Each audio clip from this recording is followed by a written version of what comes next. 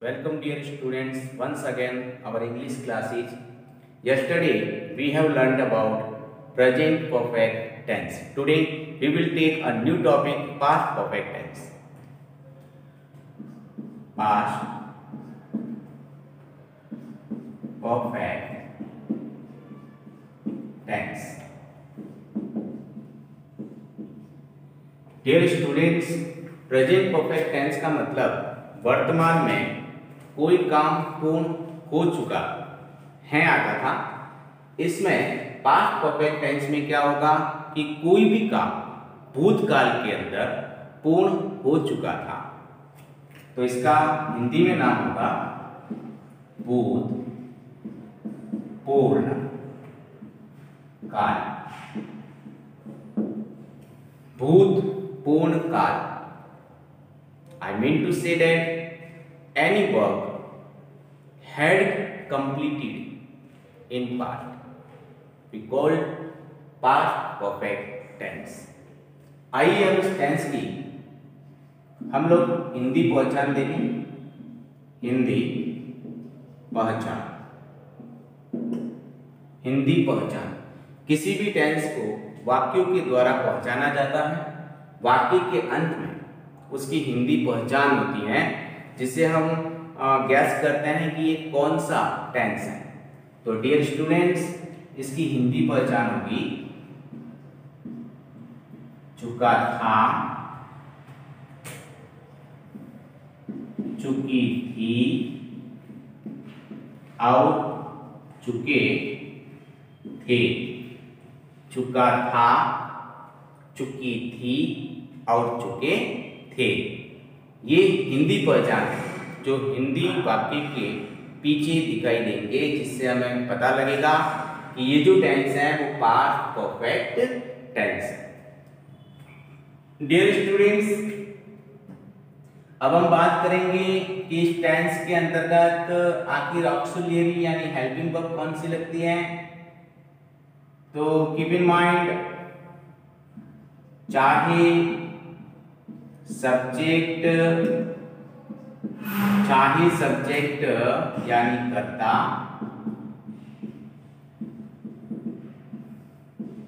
Singular हो या plural दोनों के दोनों के साथ helping verb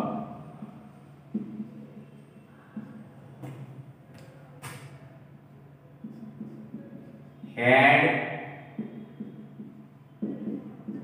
लगेगी। डियर स्टूडेंट इसका विशेष ध्यान रखना। प्रेजेंट परफेक्ट टेंस में क्या होता था कि सिंगुलर के साथ हैज़ प्लूरल के साथ हैव लगता था। लेकिन इस टेंस में चाहे सब्जेक्ट सिंगुलर हो या प्लूरल हो, दोनों के साथ हैड ही लेंगे। हैड ऑक्सिलियरी यानी हेल्पिंग वर्ब लगेगी। Second thing use verbs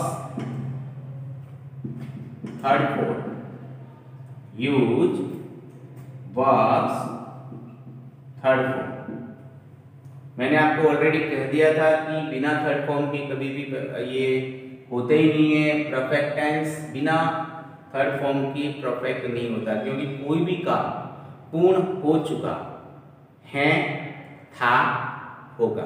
तीनों टेंस को अच्छी तरह से मेमोराइज करें। आइए अब इस टेंस का हम लोग स्ट्रक्चर देखें। How can be make sentence then First of all, we take subject plus in both condition singular and plural we will take helping verb had.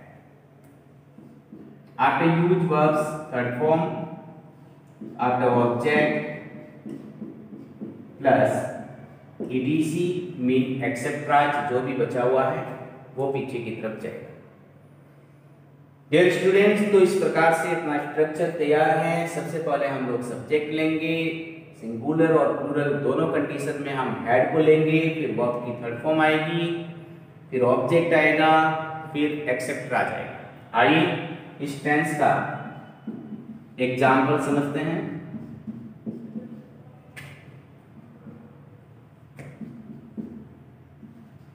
वह वह दिल्ली जा चुका था। वह दिल्ली वह दिल्ली जा चुका था। डियर स्टूडेंट्स लुक टैग चुका था। This is Hindi identification of past perfect tense Hindi पहचान चुका था। पता लग गया? अब हम आगे आएँगे तो सब्जेक्ट को पकड़ेंगे। वह जा, दिल्ली जा चुका था यानी जाने वाला वह है। चुका था इसलिए ये मेल है। हम लेंगे ही अगर यहाँ कोई नाम होता तो हम डायरेक्ट नाम लिखते रोमन लिपि में। लेकिन यहाँ पर वह है तो वह पीछे वाले हिंदी आइडेंटिफिकेशन से पता लगता है कि वह पुरुष है तो हम लोगों ने ही लिया।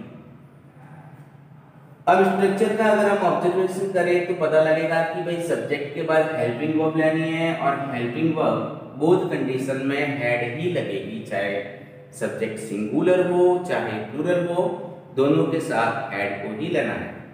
तो आइएगा हम लोग हेल्पिंग वर्ब को यहाँ रखें हेड अब हम देखेंगे कि वर्ब कौन सी है। वर्ब है जाना। जाना को इंग्लिश में बोलते हैं go go went gone go went gone तो हम लोग थर्ड फॉर्म लेंगे G O N dear students अब हम देखेंगे कि हमारा वाक्य लगभग लगभग सब्जेक्ट आ गया हेल्पिंग वर्ब आ गई मेन वर्ब की थर्ड फॉर्म आ गई. अब ऑब्जेक्ट को इंक्लूड करना है कि वो कहाँ जाएगा?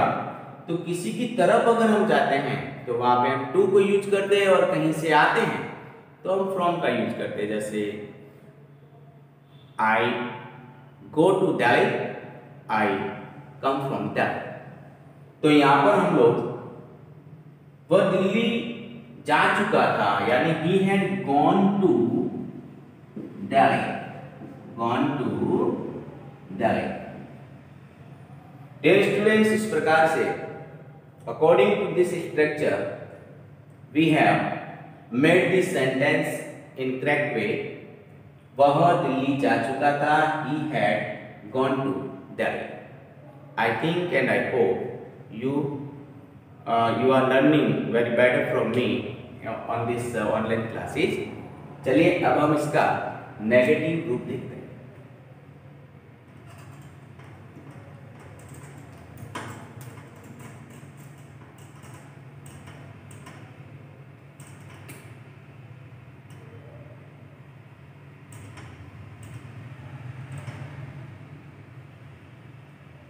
अब हम इसका डियर स्टूडेंट्स नेगेटिव पार्ट लेंगे। हम past indefinite tense sorry past perfect tense को हम लोग लर्न कर रहे हैं। प्रेजेंट परफेक्ट अपना प्रीवियस वीडियो में हुआ था।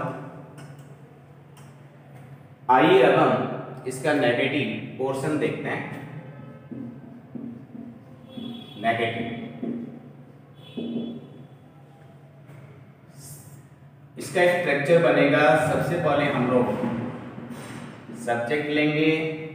अब हमें पता है कि जिस प्रकार से प्रेजेंट परफेक्ट टेंस में हम लोग हेल्पिंग वर्ब के साथ नॉट लगाते थे जैसे सिंगुलर के साथ हैज़ नॉट यानी हैजेंट प्लूरल के साथ हम लोग हैव नॉट लगाते थे यानी हैवंट उसी प्रकार से यहाँ पर in both condition we will take not with only had because had is used here with both singular and plural.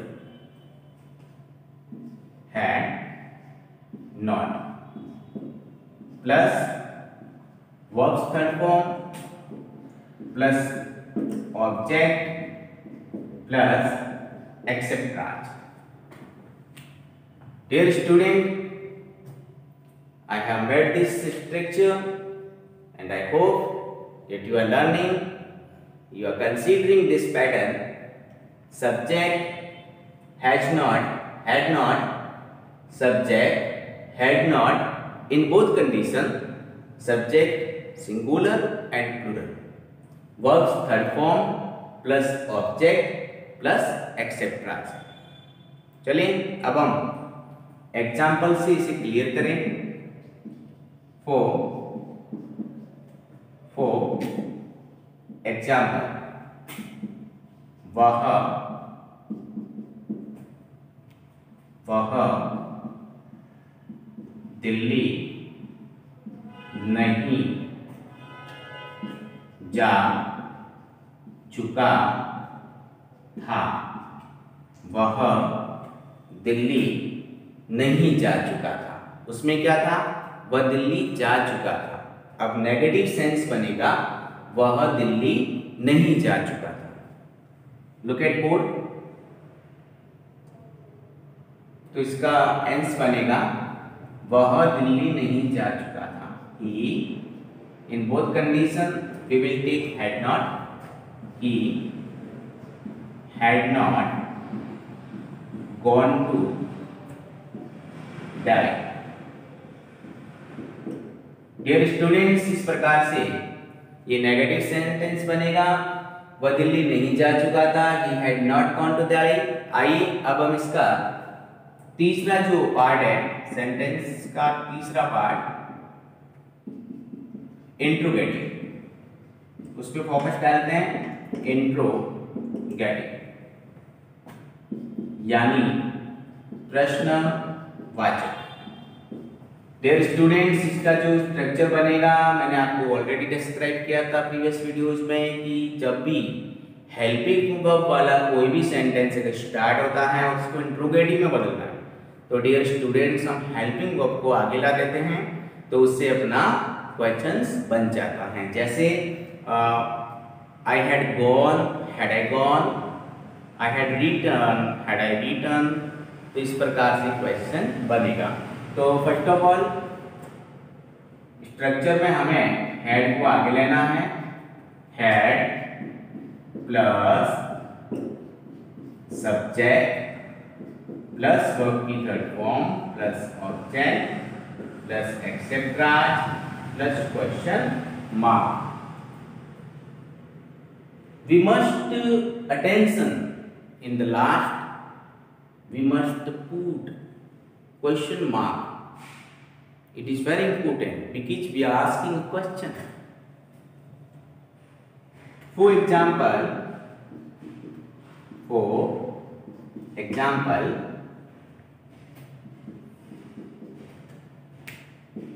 क्या क्या वह दिल्ली जा चुका था क्या वह दिल्ली जा चुका था? क्या? क्वेश्चन बताएगा? चुका था। पास्ट परफेक्ट को बताएगा।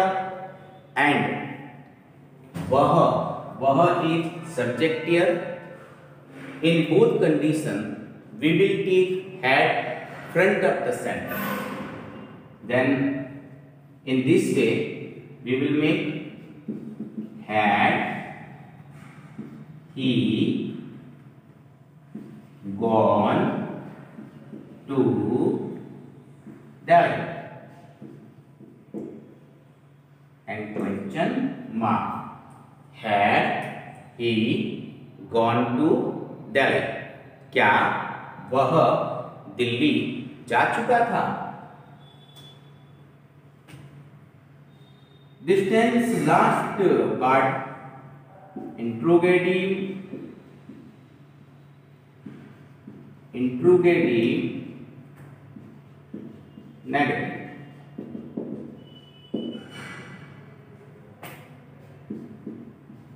इसमें मैंने आपको बता दिया था कि सब्जेक्ट के बाद नॉट लगाएँगे तो had he not